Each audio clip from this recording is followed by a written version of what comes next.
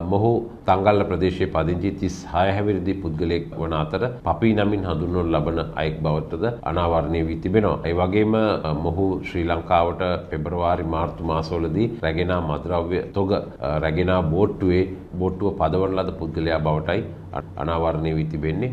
මේ තැනැත්තා අධිකරණය වෙත ඉදිරිපත් කිරීමෙන් අනතුරුව දින 7ක කාලයක් රඳවා තබාගෙන ප්‍රශ්න කිරීමට නියමිතව තිබෙනවා. විශේෂයෙන්ම මෙම බෝට්ටුව වල අයිතිකරුවන්ද මේ වන විට අත්අඩංගුවටගෙන තිබෙනවා.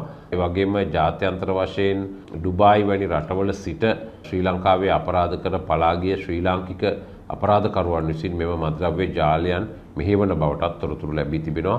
ඒ අනුව මෙම අත්අඩංගුවට ගැනීම වලින් පසුව ඔවුන්ට රතු නිවේදන ලබාගෙන අවශ්‍ය කටයුතු කිරීමට නියමිතව තිබෙනවා.